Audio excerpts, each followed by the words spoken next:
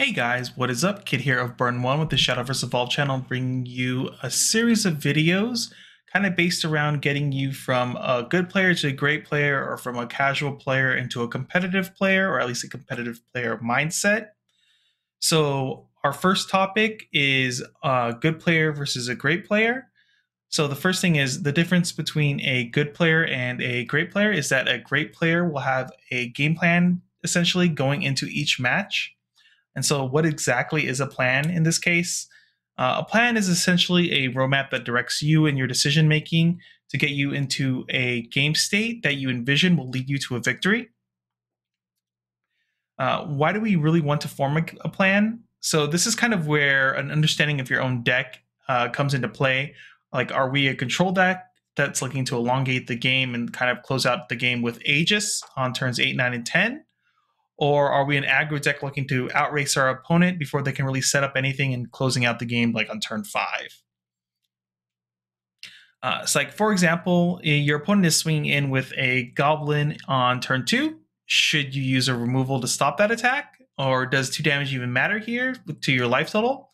Without any real context or understanding of your own game plan, you can't really make the optimal decision but once we kind of have that planned, then we can make optimal decisions that will kind of lead us into the game state where we envision ourselves winning. So, how do we form a plan? Uh, making individually good decisions is not usually enough to become a great player. Uh, great players will take these decisions they make and have them build off of the top of each other to lead to their ideal game state for victory.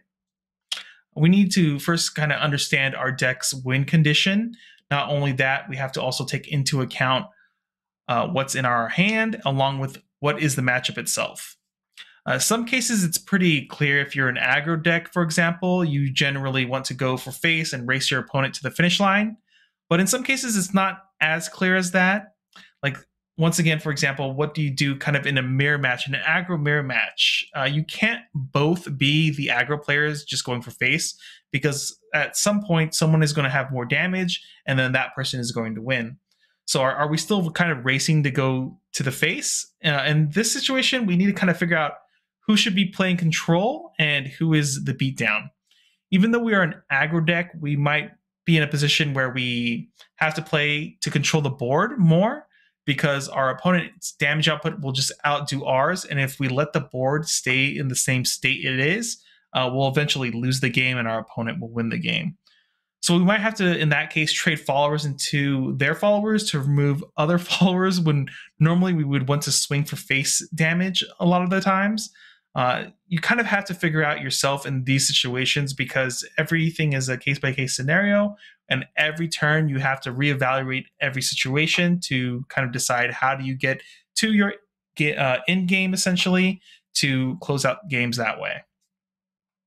So in our next video, we'll kind of ex- look to explain the concept of who is the beatdown, as this is like a very important thing to understand moving forward, so you can make better decisions uh, in every game.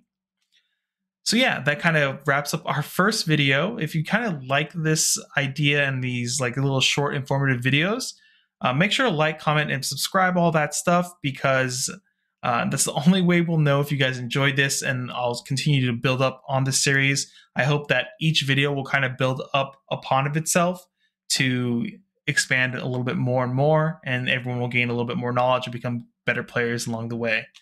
Uh, with that being said, we'll hope to see you guys in the next video. Later, everyone.